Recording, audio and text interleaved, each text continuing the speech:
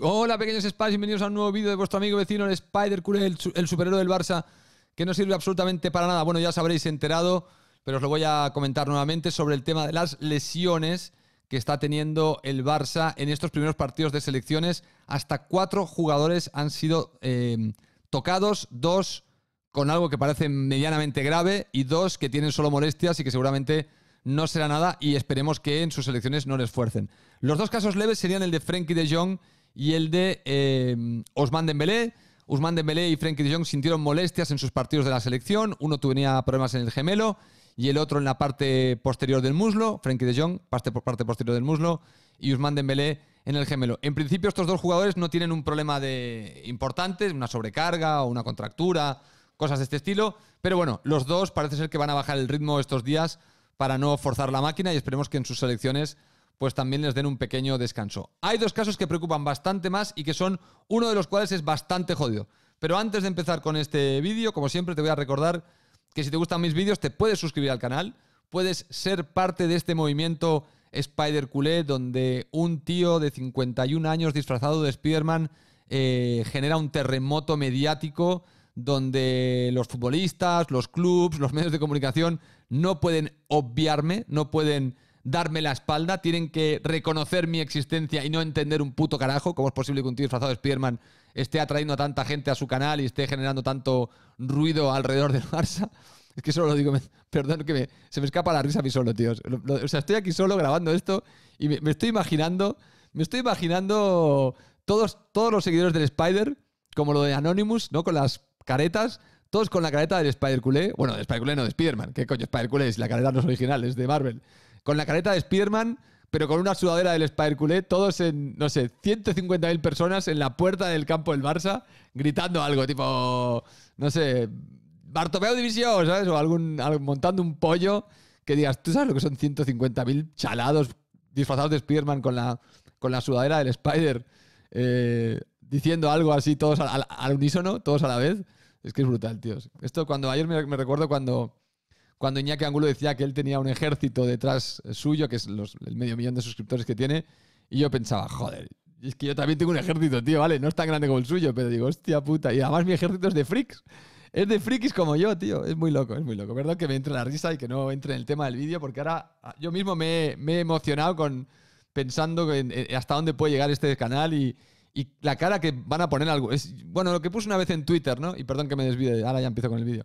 Eh, que me desvíe del asunto. Lo que puse aquella vez en Twitter de, con lo de Ibai Llanos, ¿no? Que le atacaban los medios tradicionales y yo pensaba, hostia, imaginaros que yo llegara a esos niveles, no, digo de Llanos, pero a cierto nivel, y, los ataques que yo, si Ibai Llanos, un tío a cara descubierta y tal, le critican así, imaginaros cómo se podría un, castaño, la gente del asero, cierta gente al ver un tío rompiéndola disfrazado de Spiderman. O sea, es que es, es, es tan surrealista que digo, es que, es que esto pasaría, los, habría un libro de historia que hablaría de esto. Diría, hostia, estaban todos rabiando contra los nuevos creadores. El colmo fue cuando apareció un tío disfrazado de Spiderman y rompió toda la, la- banca y la gente ya se volvía. lo- Los medios tradicionales ya no entendían nada. ¿Qué pasa? Que ahora hay que disfrazar. Además de ir a, a Twitch y a YouTube y hacerlo desde tu casa, hay que disfrazarse de superhéroe para que la gente te haga caso. O sea, es que sería.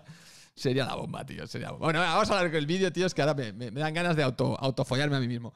Bueno, eh, entonces, lo que os estaba contando es lo de las lesiones. Ahora vamos vamos en serio, porque ahora vienen las serias. Las serias son las de Koundé y Depay. Mirad, la de Depay, sé que muchos pensaréis, hombre, sería la de Depay si está cuatro semanas o cinco o seis por un problema muscular out, más minutos para Ansu, más minutos para Ferran. Al final, por suerte, tenemos una delantera con seis tíos. Seis tíos capaces, ¿no? En principio. Eh, bueno, nos quedan cinco. O sea, visto de- es verdad que Dembélé tiene molestias en el gemelo, pero nos quedan cinco. Y en caso incluso de que cayera Dembélé cuatro semanas, oye, tienes a Rafinha para jugar por la banda derecha, tienes a Lewandowski, por la izquierda puedes ir, cambiando a Ferran y a Ansu Fati. Entonces, claro, como el Barça tiene ahora buenos jugadores y tiene recambios de garantías, a ver, cualquier lesión es un poquito más eh, llevadera. Es decir, es una putada porque te quita competitividad, te quita un jugador que puede presionar, que es el presionar a otros jugadores, me refiero, que es el caso de Memphis Depay, te quita un jugador que el otro día hizo un muy buen partido y que estaba ganando confianza para ganarse el sitio. Y el año pasado Memphis Depay empezó muy bien, se lesionó y luego es cuando entró en una especie de, de agujero oscuro Agujero oscuro se llama. ¿Cómo se llama un agujero? Un agujero negro. Coño, agujero oscuro, tío, ¿qué digo? Un agujero negro. Un agujero negro, ¿no? Entró ahí en un túnel y le costó salir mucho y volver a ganarse la titularidad, a pesar de que había venido como la estrella del equipo, ¿no? Eh, así que bueno, lo de Depay es relativamente asumible, por más que joda, porque en principio de los seis delanteros es el sexto para Xavi. O sea, Ferran lo pidió él, Ansu Fati supuestamente es el niño mimado de la casa, que me parece bien. Eh, Lewandowski es una petición expresa y es titular indiscutible, no, no, hay, forma que le quiten el sitio. Rafinha lo pidió también Xavi y Dembélé es una petición de Xavi expresa de que lo renovaran. O sea que, y además Xavi no se oponía a que Memphis Depay eh, saliera del Barça en, el mercado de verano, ¿no? En, los fichajes. Eh, se ha quedado y perfecto, completan una delantera buenísima desde mi punto de vista. El Barça tiene una muy buena delantera, pero podemos vivir. Ahora, el tema Jules Koundé me jode un poco más, porque Jules Koundé, sí que es una petición expresa, sí que vino para ser titular indiscutible y además lo estaba haciendo. Y además lo estaba haciendo. Y además demostrando, fijaros, estos jugadores que fichas, ay, que se tiene que adaptar, que no sé qué. Cundé adaptado al minuto, dando asistencias de gol, salvando goles bajo, palos, siendo una, un infranqueable en su banda o cuando estaba de central. Eh, le recuerdo un mal pase mal hecho que casi le cuesta un gol en, uno de los partidos al Barça, no sé si contra el Pilsen. Eh, pero por lo demás, eh, unas actuaciones de Cundé totalmente impecables. Un jugador que para jugar contra el Madrid habría sido capital para frenar a Vinicius. O sea, estamos a un, a un mes del clásico y tener una defensa formada por en la banda derecha por Araujo, eh, amigos míos, ¿por qué queréis que os diga? Es un, es, es un pedazo de defensa. Ahora, dicho esto, bueno, el Barça también tiene ahora suficientes jugadores porque en un momento dado ya sabemos que Araujo pudo parar a Vinicius en esa banda y que tienes a Christensen y a Eric García para jugar en los centrales si quieres. Tienes al propio Piqué, Christensen y Piqué en caso de que quieras altura eh, y buena salida de balón. Tienes, tienes diferentes alternativas, no estás colgado o pillado como estabas antes. Y también tienes a Bellerín para jugar en la banda derecha y demostrar que es un lateral puro que puede frenar a Vinicius o a quien sea, ¿no? Porque también Bellerín, pues también es el momento de que también demuestre un poco qué clase de lateral derecho es, porque es el único lateral realmente puro y duro que tenemos en la plantilla. Bueno, es un buen momento para, para él, todo y que tiene la competencia de, en algún punto de Sergio Roberto, que también estaba medio con molestias. Así que mm, la putada, la putada es nuevamente cómo, eh, bueno, hay equipos que salen muy perjudicados de estos, de estos virus FIFA. Eh, el Barça, si se trae a cuatro lesionados, va a ser la hostia.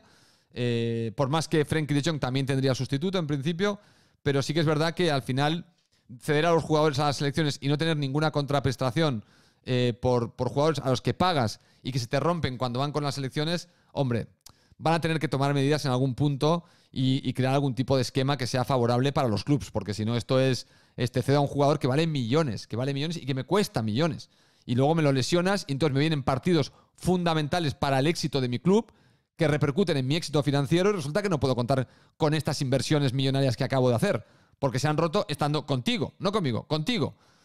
Que es aleatorio supuestamente, ¿no? Pero bueno, al final es contigo. Si se me rompe conmigo, lo asumo como parte de la pérdida. Si se rompe jugando contigo, pues es, es, otra situación evidentemente distinta. Así que bueno, señores, así está la cosa. Mm, virus FIFA ya nos está afectando. Estamos a un mes del partido del clásico. Por suerte, repito, tenemos una plantilla amplia. Por suerte se pueden sustituir cualquiera de estos jugadores con jugadores de garantía. Pero es verdad que lo ideal es llegar al clásico y tener a todas las piezas. Tener a todas las piezas y poder contar con todas, ¿no? Tanto nosotros como el Real Madrid. Yo quiero ganar al Real Madrid eh, con Benzema en el campo, si puede ser. Para que no haya excusas de que no teníamos a Benzema, como con 0-4, ¿no? Es que no teníamos a Benzema. Ah, vale. Benzema, Benzema es el portero. Bueno, señores, nos vemos en el próximo vídeo de vuestro amigo vecino de Spider Hasta la próxima. Suscríbete, suscríbete, soy Spider y soy culé.